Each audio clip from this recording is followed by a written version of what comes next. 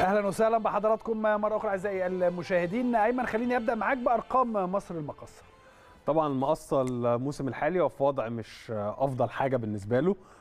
الفريق يعتبر مهدد عندهم مشاكل في بعض المراكز وبعض الأمور المادية هم كانوا اتكلموا عنها كتير. يمكن مصر المقصه زي ما إحنا هنشوفه في المركز ال 14 معاه 8 نقاط من 9 مباريات. الفريق حقق انتصار وحيد كان على الجونة.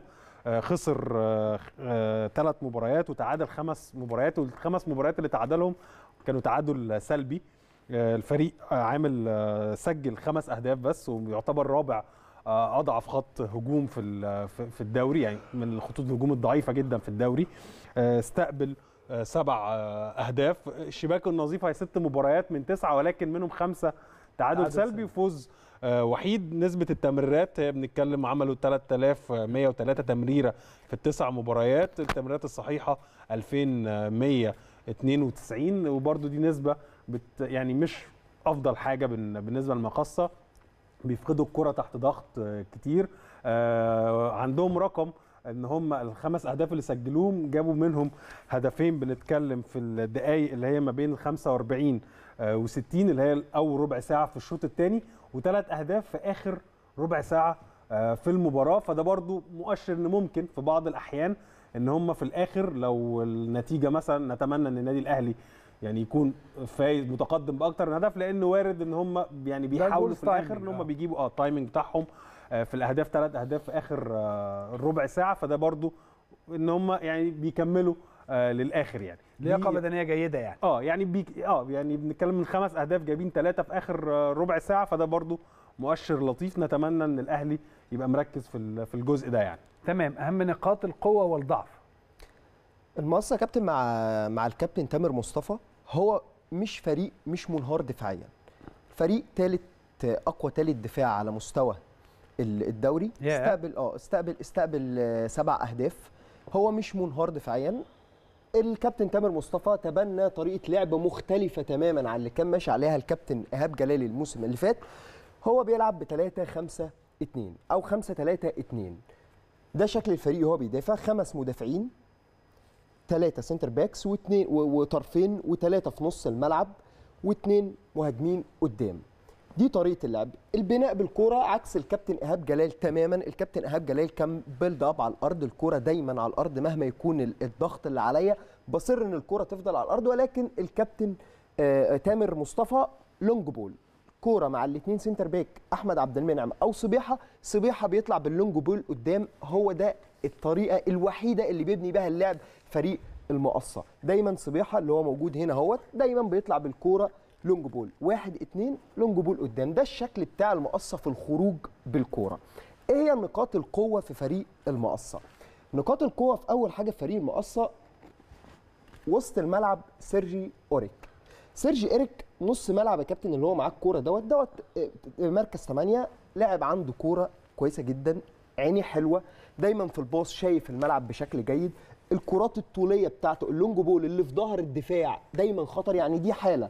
في ماتش طلائع الجيش مسك الكورة كورة long ball في ظهر دفاع طلائع الجيش ضرب بيها خط الدفاع لنادي المقصه هو دايما عنده حل في ال long ball سيرجي أوريك في إيريك في نص الملعب دايما عنده حل دايما شايف الملعب دايما هو اللي بيحرك الفريق بشكل جيد. دي حالة في ماتش طلائع الجيش اهيت. long ball في ظهر الدفاع. معانا حالة ثانية جاب جون حلو في المصري أعتقد. شوطين هو هو هو دي تاني نقطة قوة. بيراميدز أعتقد دي واحدة في بيراميدز وواحدة في المصري. ممكن يبقى المصري اللي أنا شفته. المصري. لا هو كابتن بيستلم الكوره في نص الملعب شايف دايما الملعب بشكل جيد بيطلع بال long ball بشكل هايل هيطلع هنا ب long ball على الطرف الشمال لجوزيف. ده ماتش الدور الأول بتاع المصري. long ball ده أهم لاعب في نص الملعب سيرجي اريك والتسديد. تسديد سيرجي اريك نقطة مهمة جدا جدا جدا في نادي المقصة سجل هدف يمكن هم مسجلين خمس أهداف في الدوري منهم هدفين لسيرجي اريك تسديدات واحدة في المصري من 29 متر. اهيت تسديدة مباشرة آه تسديدة مباشرة. اللي راحت شمال الجون آه هي دي. هو مميز جدا في موضوع التصويب برجله بقدمه اليسرى سواء في وضع متحرك أو سواء يعني هو أيوة أغلب محاولاته هي دي آه هي دي, هي دي. مظبوط. تسديدة مباشرة في ماتش المصري واحدة زيها بالظبط في ماتش بيراميدز برضو استلم استلم من الطرف الشمال هنا. دي في ماتش بيراميدز. اهيت هو لاعب جيد بيشوط بشكل هايل جدا. آه، مركز 8 على فكرة مميز جدا مقدم أداء جيد مع مع المقصه رغم إن المقصه مش مقدم بشكل عام كفريق أداء هجومي جيد ولكن سيرج إيريك شكله حلو في الملعب. فده أحد أهم نقاط القوة لفريق المقصه لو جينا نشوف نقاط الضعف في فريق المقصه هنروح لأول حاجة عندهم الطرف اليمين هشام حافظ. ال back اليمين هشام حافظ تمركزاته مش مش جيدة دايما وراه مساحة كبيرة. هشام حافظ ال back آه، اليمين. هشام حافظ ال back اليمين. هو ال back الشمال عندهم علي فتحي وال back الشمال آه، ال back اليمين هشام حافظ. ال back ال- ال- اليمين اللي هو موجود هنا دوت آه. هشام حافظ متمركز غلط وراه الطرف بتاع طلائع الجيش اتلعبت الكورة هو واقف اهوت اترفعت الكورة. دايما وراه مساحة للاستلام والتسلم فيها. هيستلم الكورة. هيكمل عليها هتيجي آه الكوره كان في لازم ياخد. ثلاث أربع خطوات لورا. آه بالظبط. كده. وراه مساحه لعب وهيستلمها الجناح بالفعل وهيجيب الكره دي الكره دي في العارضة أعتقد. آه في العارضة.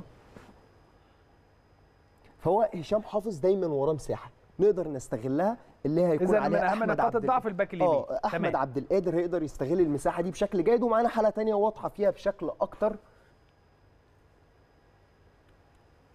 آه يا كابتن هنا مثلا الفريق كان بيضغط من قدام. اتلعبت الكورة. طولية. طولية لهشام حافظ وراه مساحه قد إيه؟ مساحه ما هو هو دايما وراه مساحه تمام. اللي بعد كده؟ اتلعبت الكورة في المساحة هو ملحقش يرجع يغطي. هو دايما متأخر فبيكون وراه. مساحة, مساحة. كبيرة. اذا اللي هيلعب طرف شمال ياخد باله أحمد عبد. القادر آه على هشام إيه الكرات العرضية يا كابتن برضو عندهم فيها مشكلة. يعني هم استقبلوا جوني ثلاث اجوان من الخ... من الخمسة اللي استقبلوهم من كرات عرضية. أيوه. أو من السبعة. ثلاث أهداف من السبعة من كرات عرضية. ده في ماتش ال- المصري. ماتش المصري مر... تمركز الفريق نفسه مش جيد. الكرة دي جت جون. الكرة اترفعت اتلعبت جت في العارضه اتعمل عليها follow. اللاعب وقف في وسط ثلاثة. اهو في وسط اتنين برضو ولعبها وخدها. هنا أحمد الشيخ كان واقف في وسط ثلاثة ونجح إن هو يسجل الكورة. فهم عندهم مشكلة واضحة في الكرات العرضية. معانا حالة كمان برضو الكرات العرضية في ماتش فاركو. أهوت ناخد بالنا من اللاعب دوت دوت أهوت اللي هو هم هنا متمركزين في في في ثمانيه من من لعيبة مصر المقصة على ستة من فاركو. اترفعت الكورنر. تمام. سرق علي فتحي وخد المساحة تمركز الفريق نفسه غلط في الكرات ال- ال- ال- ال- الثابتة وأعتقد دي بتبقى أربعة. نقطة, نقطة قوة جيدة لأن النادي الأهلي في الفترة الأخيرة كان واضح جدا إن في آه، أكتر من تكتيك ي- يخص إيه الكرات الثابتة. والكرات العرضية تمام. آه، من الركلات الركنية فأعتقد إن طيب. دي هتبقى من النقاط الجيدة النادي الأهلي ممكن يستغلها يعني تمام فهم الكرات ال- العرضية عموما عندهم فيها اذا مشاكل الكرات العرضية وهشام حافظ ال- ال- اليمين ال back آه. اليمين دي نقطة آه، آه، سيرج إيريك مهم جدا في نص الملعب لازم يكون تمام. مركزين معاه بيسدد بشكل جيد جدا آه.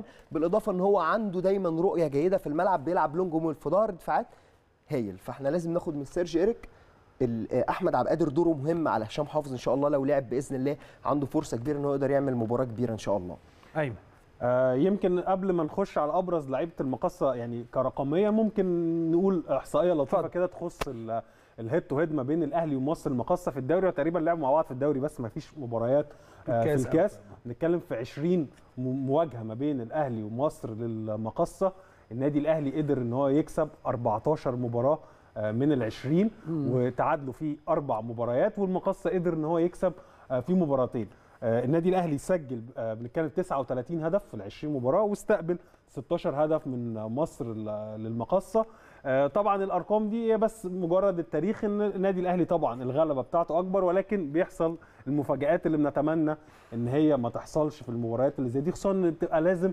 مباريات المفترض إن دي تجميعة النقاط اللي هي حاجات اللي بتبقى في المتناول. يمكن أحمد لما اتكلم عن آه، إيريك لاعب مصر المقصه ك آه، وسط ملعب اللي هو رقم 8 إن هو فعلا أبرز لاعب موجود في مصر المقصه حاليا فريق اللي جاب خمس أهداف لو هنستعرض أرقامه آه، إيريك اللي جايب منهم هدفين وصنع منهم هدف يعني هو نعم. مساهم في ثلاث أهداف, أهداف من خمسة الخمس. إن ال- اللي المقصه جابهم على أوكي. مدار الموسم في تسع مباريات فدي آه، رقم آه، مميز جدا بنتكلم إن هو آه، محاولاته على المرمى عمل 12 محاولة منهم خمسة ما بين القائمين والعارضه فدي برضو نسبة جيدة جيدة ل- جداً طبعاً. يعني هو الواحد تحس إن هو اللي شايل هو اللي بيلعب بس. لوحده. آه، آه، لعيب خطير جدا وقدمه اليسرى قوية وح... آه، عامل تمريرات حاسمة لزملائه بنتكلم في ثلاث تمريرات التمريرات بتاعته الصحيحة 214 من 275 ده نعم. الإجمالي المراوغات الناجحة 15 مراوغة ناجحة من 18 فدي برضو نسبة آه، جيدة جدا هو إحنا معانا كان ليه خريطة بتقول إزاي آه، هو المحاولات بتاعته كلها كل محاولاته من بره ال 18 زي ما إحنا شايفين كده في الخريطة. محاولات بص يا كابتن إسلام كلها من بره ال 18 كلها تسديد لهدفين من تسديدات. فده معناه إن لو ما فيش ضغط عليه هيبقى هو عنده فرصة دايما إن هو يشوط بقدمه آه، اليسرى.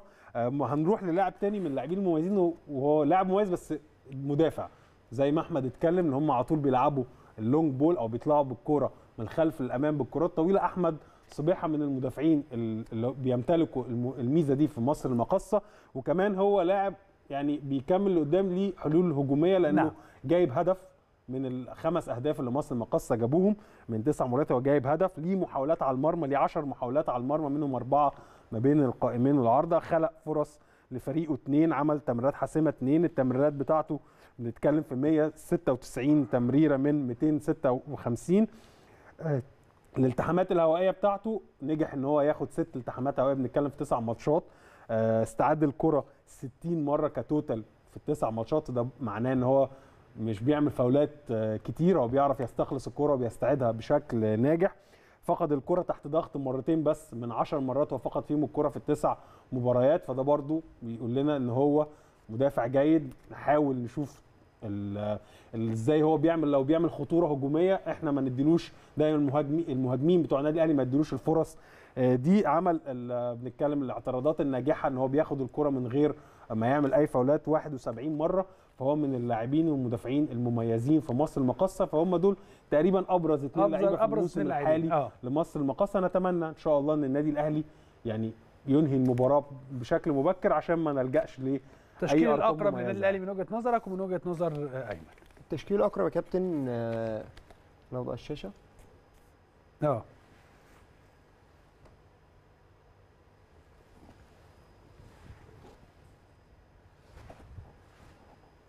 التشكيل الاقرب يا كابتن. طبعا ما أعتقدش إن هو ممكن نب- نبتدي محمد الشناوي. أعتقد إن هو ممكن يثبت علي لطفي الماتش. ده حاسس إن الموضوع ممكن يكون صعب شوية على الشناوي. تمام. محمد الشن... آه علي لطفي في حراسة المرمى. آه. علي لطفي في حراسة المرمى. آه. و ياسر إبراهيم وحمدي فتحي وجنبيه رامي ربيعة. علي معلول طبعا مش موجود فهيكون مكانه محمود وحيد. وهيكون في الطرف اليمين محمد هاني. وت- وت- واتنين في نص الملعب اليو ديانج وعمرو السولية. وأحمد عبد القادر في الطرف عبد القادر في الطرف شمال الش- ماشي. الشمال.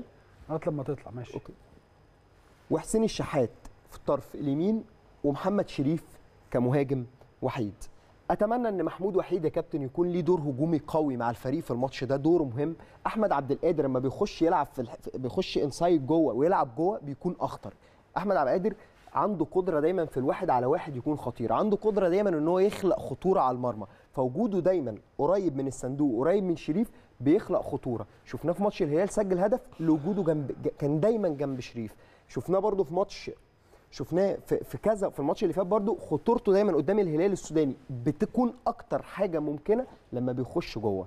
هكذا حسين الشحات أتمنى إن حسين يلعب أكتر في العمق في الماتش ده. إحنا محتاجين إن الملعب يوسع شوية يطلع محمود وحيد ومحمد هاني مع دخول الطرفين جوه مع محمد شريف هيعملوا لنا كثافة هنحتاجها في ظل إن نادي المقصه بيلعب بثلاث مدافعين. إحنا محتاجين كثافة هنا لأن لو مفيش كثافة في العمق النادي الأهلي هيكون محتاج الأمور أصعب شوية. طيب هل من الممكن يا أيمن إن هو يعني يريح بعض اللاعبين في ظل ال- الكثافة المباريات خلال الأسبوعين اللي جايين؟ يعني أنا وجهة نظري إن هو يعني مضطر إن هو يعمل حاجة زي كده. يمكن هو فقد علي معلول إن هو إصابة خفيفة أيمن أشرف آه، محمد عبد المنعم فده هيدي بعض اللعيبة يبقى فيه روتيشن ولكن أنا وجهة نظري يعني التشكيل ده اتمنى ان يبقى في واحد في تشكيلك. برضو من وجهة آه نظرك. يعني ال- الناس اللي أنا هختلف بس هشيل حمدي فتحي من النص ان يبقى بنلعب بس باثنين في وسط الملعب حمدي فتحي والسولية أو حمدي فتحي وديانج دي- يعني اثنين منهم من الثلاثه عشان لازم واحد منهم يريح ومجدي قفشة هو اللي. يعني أنا أعتقد وجهة نظري إن علي لطفي هو برضو اللي لازم آه يعني ايا كان آه علي لطفي هو اللي لازم يبقى موجود مش عايزين محمد الشناوي نجازف بيه حاليا وعلي لطفي يعني بيقدم مباريات جيدة في الدفاع. رامي ربيعة وياسر إبراهيم آه كاتنين مساكين محمود وحيد ومحمد هاني في اليمين والشمال. اللي في النص يبقى اتنين من الثلاثه ديانج والسوليه أو ديانج وحمدي فتحي. وأعتقد الأفضل إن السولية هو هو اللي. اللي يرتاح يلعب بديانج وحمدي فتحي. ويبقى في دور لمجدي قفشة إن هو اللي يلعب عبد القادر ومجدي قفشة آه، و... بتاعة السولية. حسين الشحات آه، يعني أعتقد دوره ممكن يبقى أفضل من طاهر في المباراة دي وكمان نريح آه، طاهر. ونجهز حسين الشحات لماتش سان داونز. أحمد عبد القادر طبعا إن هو يبقى موجود في الطرف الأيسر. وفي الهجوم آه، محمد شريف فاعتقد إن الأفضل يعني طبعا موسيماني هو اللي هيشوف ال ال الأنسب بالنسبة لكن الأفضل إن نرجع ل 4 2 3 1 إحنا بنتكلم في التشكيل برضو ومش بالشكل اللي بس يدي مساحة إن عمرو السولية أو حمدي فتحي أو ألي ديانج واحد منهم يريح حد كمان يعني. بالظبط كده. من وسط الملعب انت هتحتاجه خلال الفترة اللي جاية. عموما يا رب كل التوفيق للنادي الأهلي في مباراته بكرة إن شاء الله.